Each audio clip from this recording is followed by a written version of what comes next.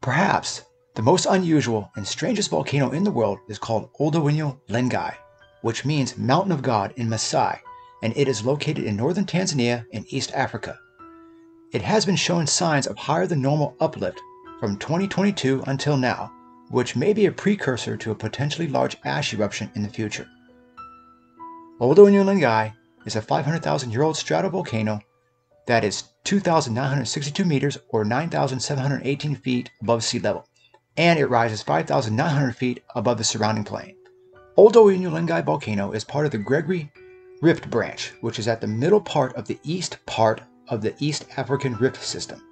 The East African Rift System began to form over 22 million years ago, and the north part of the Gregory Rift Branch started to spread a little more than 10 million years ago, and propagated to the south near Ol Doinyo Lengai about a million years ago, and continues to widen at a rate of 3 millimeters or an eighth of an inch per year.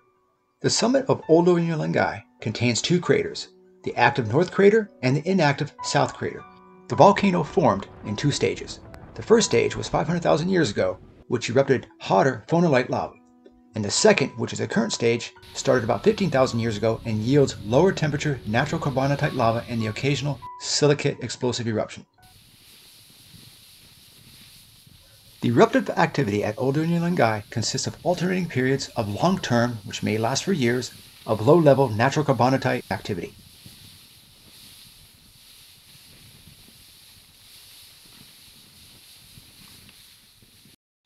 And sporadic, which is about four times a century, explosive silicate eruptions, such as in 1933, 1965, 1983, and as recently as 2008.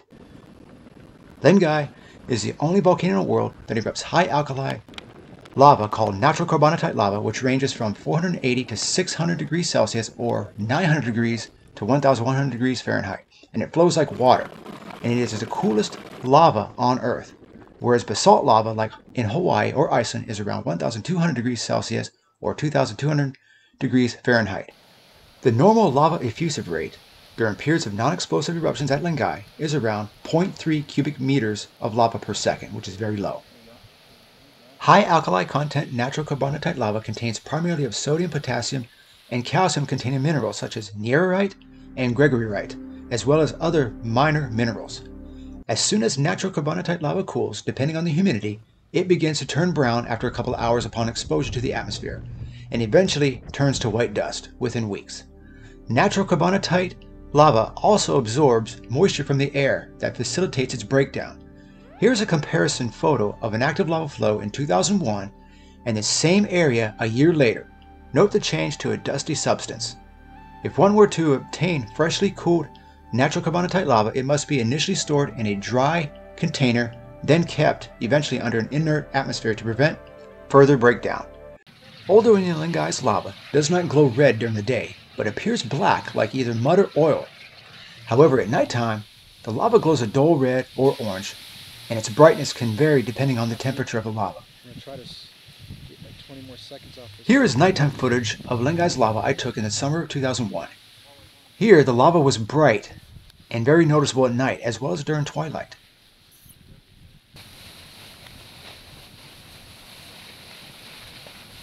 The lava temperature at the time may have been around between 550 to 600 degrees Celsius or around 950 to 1050 degrees Fahrenheit.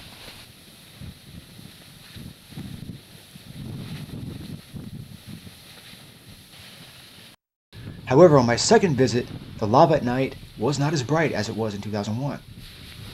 The lava at that time, in 2002, may have been about 100 to 150 degrees Fahrenheit cooler, at a temperature around 480 to 520 degrees Celsius or 900 to 970 degrees Fahrenheit. It was not even visible at twilight, like the year before. This night footage shows the actual color of an eerie, dark red lava eruption that was recorded in the summer of 2002. Now here you can see the difference between 2002 and the previous year with the lava brightness. However, the video doesn't do it justice. The brightness of the lava is equivalent of a burning charcoal ember after the flames have stopped. At night, it is visible, but during the day, not so much. Ol Doinyo Lengai volcano is always in a state of low-level eruption, mainly in the form of a small, persistent lava lake that remains inside the cones of the crater. In 2007 and 2008, a series of violent ash eruptions occurred at the volcano, causing ashfall around the volcano.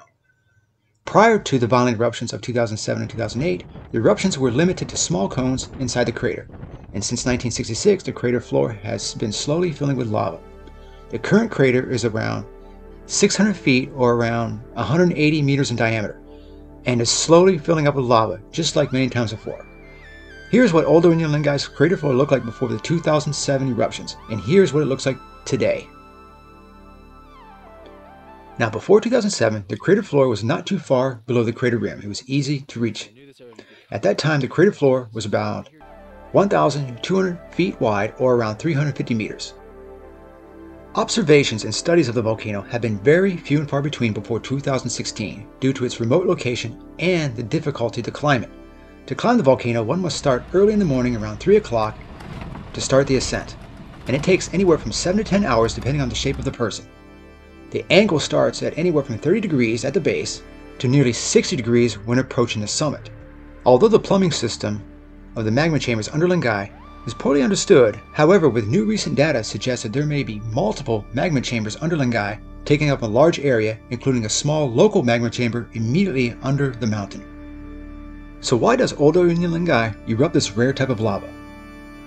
Deeper magma chambers containing hotter phonolite or low silica content lava causes the lighter alkali materials to separate and rise, thus causing the natrocarbonatite lava to erupt. However, lab experiments have shown this may or may not be the case. Another theory states that older Ol Doinyo Lengai natural carbonatite lava involves the expulsion of mobile, alkaline, carbon dioxide rich fluids in the form of a condensate. According to a recent report by Alex Strykerson, fluid magmas separates at a depth from cooling low alkali carbonatite in the small shallow magma chamber of the volcano. This fluid reacts with previously crystallized solids and leaves small pockets of carbonatite liquid behind in an area above the magma chamber. Volatiles containing carbon dioxide and water will react with the underground rock and be lost before it reaches the surface. When the hotter silicate magma replenishes the primary magma chamber under the volcano, previously deposited natrocarbonatite lava, liquid, and solid parts could be remelted and reactivated to form many natrocarbonatite magma pockets just a few meters wide, either within or just under the volcano. Some test samples of natrocarbonatite lava from Lengai has been known to contain small amounts of silica. The natrocarbonatite lava, along with associated gases, travels from the tiny natrocarbonatite mini magma chambers inside the volcano and travels upward to erupt at the surface. The loss of water and carbon dioxide due to some reactions with the underground rock turns the fluid into natrocarbonatite melt. The resulting natrocarbonatite lava's low temperature liquid will contain high alkali content minerals that one would see erupting at the surface at Ol Doinyo Lengai today. This is just one of two theories of how natrocarbonatite lava originates, but more studies are needed to get a concrete picture of what goes on under the Ol Doinyo Lengai volcano. A team from Virginia Tech installed six sensors on the flanks of Ol Doinyo Lengai to collect high-precision data from the global navigational satellite systems. The seismometers placed on the volcano also monitors local earthquakes as well as inflation. Computer models from the satellite data were used to detect volcanic inflation of the magma reservoir under Lengai. The team searched seven years of consistent satellite data for signals associated with the transient rapid uplift or inflation that occurred between March 2022 and December 2022, and then a slower period of uplift all the way through August 2023. Inflation happens when magma rises into the magma chamber and causes the volcano to expand outward like a balloon. Inflation, if it does not stop, will reach a critical phase where an eruption may happen.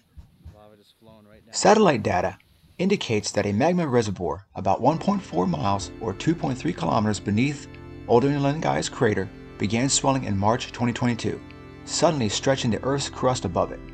This is recent information and more data is needed as the volcano is a tourist destination and safety is paramount. Before the 2008 explosive eruption at Lengai that blew out the crater floor it wasn't uncommon for people like me to go camping inside the crater while it was erupting for days at a time. In the summer of 2002, our guides were camping on the east part of the crater where, on the first night of the eruption, it sent a torrent of lava toward the guide's tent, and the lava went around the small stone wall and into their tent, injuring one of our guides. The lava took out our water and food supply. The guide had to leave due to minor injuries from the lava entering the tent. A few people from our expedition ended up leaving early as they had enough, but some of us remained. Due to the constant threat of lava, the remaining expedition members had to have lava watch at night to ensure our camp was not threatened by lava. We even had to remove our tents to the southern part of the crater in order to avoid the lava.